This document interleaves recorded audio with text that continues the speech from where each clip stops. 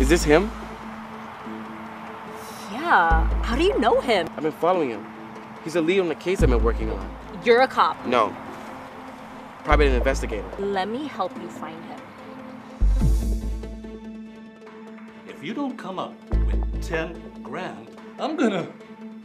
I'm gonna make a pie out of you. Came to rescue my princess. So you could put your hands on my sister? I saw the marks you put on her.